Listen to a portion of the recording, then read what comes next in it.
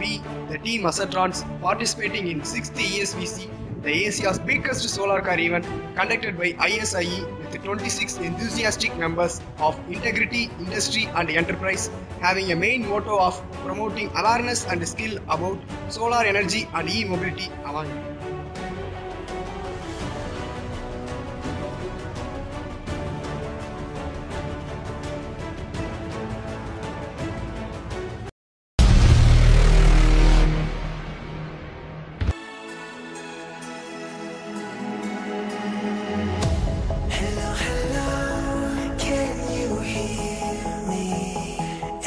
ice cream.